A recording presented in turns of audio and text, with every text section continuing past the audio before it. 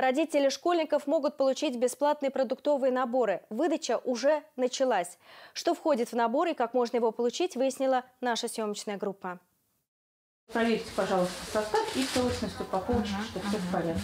Вот такие наборы в ближайшее время получат родители всех учеников с первый по четвертый класс. Здесь молоко, сок, печенье, какао, сухой завтрак. Рядом пакеты побольше. Для детей из малообеспеченных или многодетных семей собрали наборы из круп, консервов, чая и сладостей.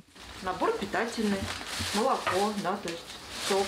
Дети, скорее всего, все это будут кушать. Очереди нет. С 11 до 12 только первая обслуживается. В классе 33 человека. Я думаю, что в течение часа это можно все осуществить.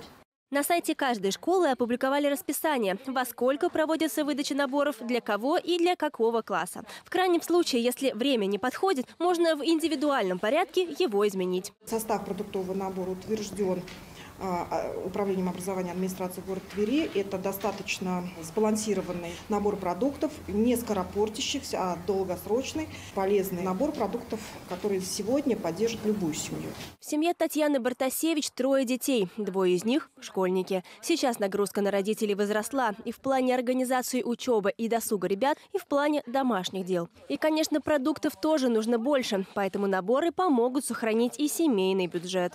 Это очень нужно, потому что сейчас дети сидят на карантине дома. Естественно, они кушают чаще, готовить надо больше.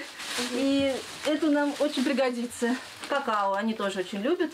Сами ребята признаются, скучают и по друзьям, и особенно по занятиям в любимых секциях. Полина показывает свой костюм. В нем она занимается в фольклорной студии. Сейчас ноты и упражнения присылают дистанционно. Это не то же самое, но и она, и брат мужественно переносят ограничения самоизоляции и понимают, сейчас так надо.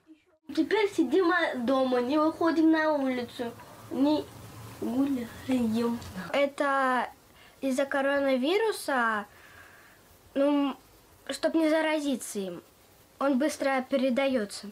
Дистанционное обучение – это мера, к которой образовательные учреждения не готовили заранее. Никто не предупреждал за год, что произойдет такая ситуация. Поэтому в самые короткие сроки пришлось перестраивать систему образования, и пока остаются сложности. Но это лучше, чем подвергать детей риску заразиться опасной болезнью.